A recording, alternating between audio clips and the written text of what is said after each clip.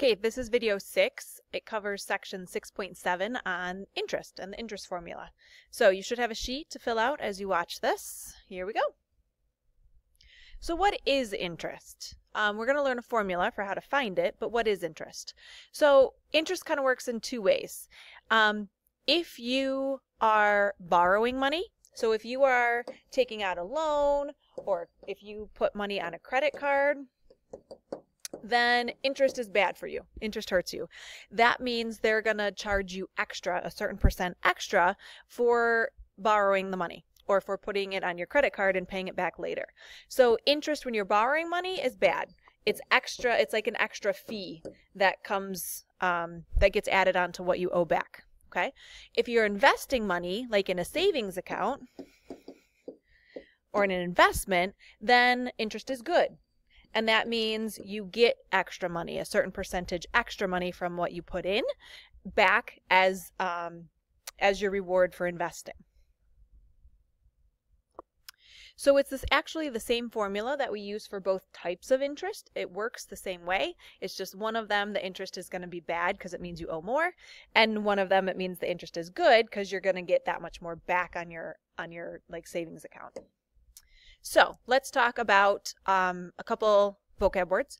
Interest is going to be an amount of money, and that's um, the amount of money that either they add on to your bill as the fee, or the amount of money that they add on to your like bank account as um, that reward for investing. Okay, so interest is the the small amount, the percent. Um, principal is the starting money, like the starting value um, the principal would be like the amount that you put on the credit card or the amount of the loan that you take out or the amount that you put into the savings account at the beginning. And then interest rate is the percentage that sorry, so interest rate is the the percent that you gain that interest. Okay? So let's fill in this formula. This looks just like your paper. The first one is interest. Okay, so this is the formula to give us the interest. Um, you're going to start with your principal. So as they say here, that's a dollar amount, whatever you your starting value is. The rate here, the annual interest rate, goes here, and you need to write that interest rate as a decimal, so in decimal form. Okay, and then you multiply it by time. Okay, so if you leave your money in the account for 10 years, you're going to make more in interest than if you only leave your money in a savings account for two years. Okay, so time plays into this. Now, this is the simple interest formula. There are other more complicated interest formulas um, that we are not going to do this year, just this formula. Okay, so in the box where it says formula, this is what you're going to want to write down. I equals PRT. I is the interest, P is the principal, A, or R, sorry, R is the rate. Make sure you write it as a decimal. And then T is time, and it has to be in years. So if you come across a problem that says like 36 months, you need to convert that into years first before you plug it in here. Okay, so we're going to use this formula to answer a few examples or do a few examples together. All right, example one, finding the interest. You put $200 in a savings account. So here you're going to earn 2% simple interest per year for your money sitting in that account. Okay, so the questions are what is the interest earned after five years and what is the balance after five years? So I'm going to put this so I have a little bit more room.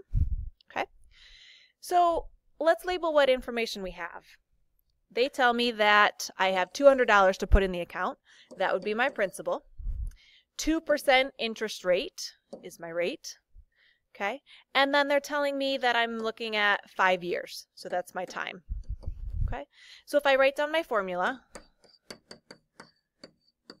I equals PRT, I can plug in what I know, where it goes. I'm looking for the interest. The principal is $200.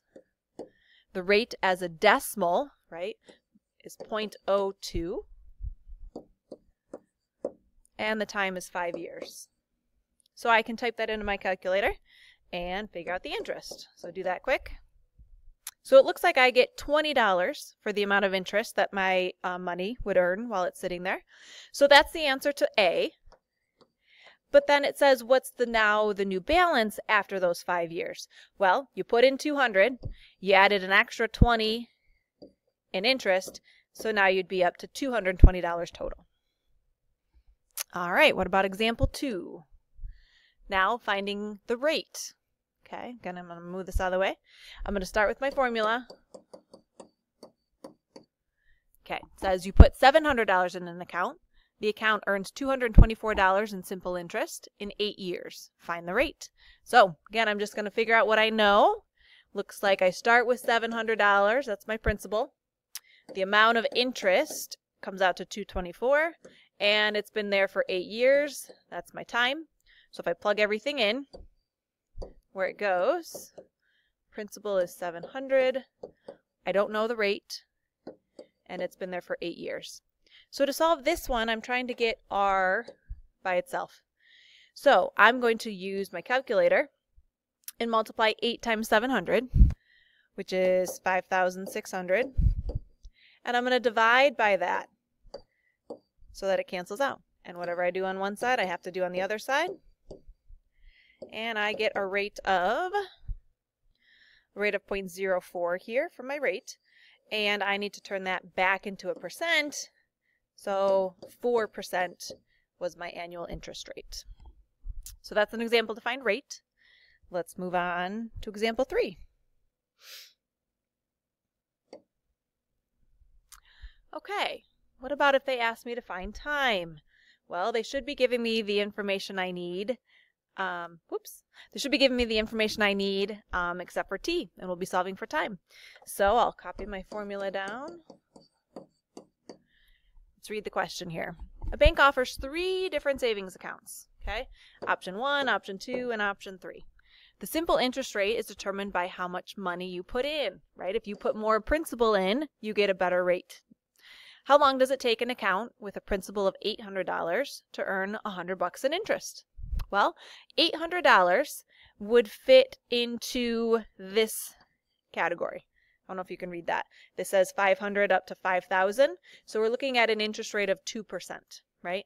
If I put in more than 5,000, I'd get a better interest rate, but we're still here in this category. So it looks like principal of 800, a rate of 2%, and I'm looking for the time, T, and I want my interest to be 100 bucks. Okay, so I'm going to multiply the 800 by 2% there so that I can divide and solve for t. So this and this multiplied together was 16. So I'm going to divide by 16 on both sides to cancel out and get t by itself. And it looks like t is 6.25. And then we would label that anytime we solve for t, it's going to be years. Okay, so six years and what, three months it would take for your account to earn $100 in interest. Okay? All right, so that's solving for time. Example four. Finding how much um, you would pay for a loan. Okay, so you borrow 600 bucks to buy a violin. Okay, the simple interest rate on your credit card or for that loan is 15%. Looks like that's the rate. You pay off the loan after five years. So you're you're gaining interest on what you owe for five years. That's your time. Okay. So starting with 600, 15% interest rate, five years. How much do you pay for the loan? Okay. Here's my equation. We should write this down every time. I equals PRT. Plug in what we know where it belongs. $600 in uh, principal. A rate of 15%. Turn that into a decimal. Five years and this is going to give me the interest. Okay, so that would be, let's multiply that out. Okay, so I get a that the interest is $450. Now, they ask me, how much do you pay for the loan? Well, it's an extra $450. So you already borrowed 600. They're going to ask you to pay an extra 450 for the fact that you took out a loan and borrowed the money. And that means you really end up paying $1,050 for that violin. So a little bit more than the 600 you thought it was costing you. So that's why credit cards can be so dangerous. If you put that violin on your credit card, you end up paying way more than the violin is worth just because you had to take out a loan to get it. So credit cards and that interest adds up really fast and you pay way more for things than maybe what you think you're paying or what it's worth. All right. Okay, sorry, here we are. Finding interest, or sorry, finding principal. So start with your formula. I know this is just repetitive. Um, lots of different variables we can solve for here. Interest rate on your account is 2.4%. Cool, there's your rate. You invest your money for 36 months. Okay, I wanted to show you this one because if they give you months, you have to turn it into years. So how do I turn months into years? Well, since there's 12 months in every year, if I divide this by 12, I can see that this is really just three years. So that's my time. And how much principal do you have to start with in order to make 200 bucks in interest? Okay. So we'll plug everything in where it goes. I want 200 in interest. I'm looking for the principal. My rate is as a decimal and multiply that by three years. Okay, so I'm going to multiply these two numbers together in my calculator so I can sol solve for P. Okay, so this gave me 0.072, so I'm going to divide by that 0.072 on both, oops, this doesn't cancel out, but divide um, on both sides in order to get P by itself. And it looks like P is going to be 2777 and 77 cents. So you'd have to start with at least that much money in your account at the beginning in order to earn 200 bucks in interest. Okay. All right, we have one more example. Example six. Monthly payments. There might be one like this on your uh, test, so I wanted to make sure we did one together. Your family borrows $4,700 for a spring break trip. The interest rate, wherever they borrow that money from, is 12%, and you wait two years to pay it back. Okay, so the question is, what would your monthly payment be if you repay the total amount that you owe over three years. Okay, so I'm going to start with my formula. Let me make this a little smaller. Write that down every time so it sticks in your head. Looks like the principal is 4700 That's the amount that we initially borrow. The rate is 12% on our credit card or wherever we, we put the money. And uh, it sits there for two years before we pay it back. So two years. So let's find out how much interest we have here. 4,700 times 0.12 times two years. I get 1,128 bucks. Now, that's just the extras in fees, okay, like your credit card fee. Now I need to add that on to the 4,700 that we already borrowed because we have to repay the whole thing.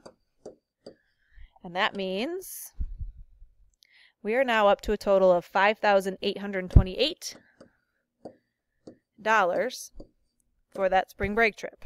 Okay.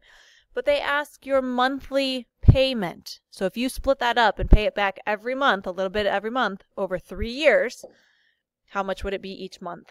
Okay. Well, again, we just saw that in the previous problem, three years. I need to multiply that by 12 months to figure out a total number of months so I want to take that total and split it up over 36 months. So the 5,828 divided by 36 months comes to